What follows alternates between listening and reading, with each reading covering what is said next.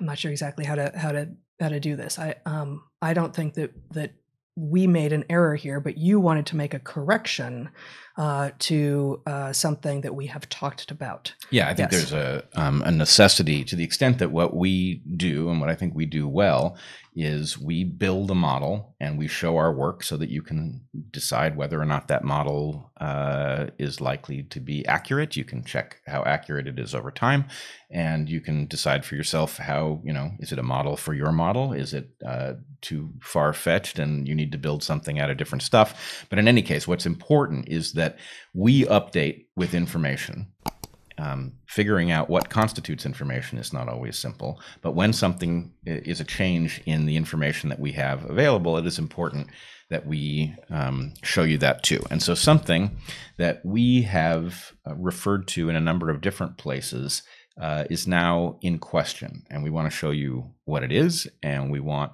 uh, to suggest what has happened to our model as a result. So, to support us, like this video, subscribe to the channel, and consider writing a comment. And because 1984 has captured 2021, click the link in the description to see the full clip on Odysee.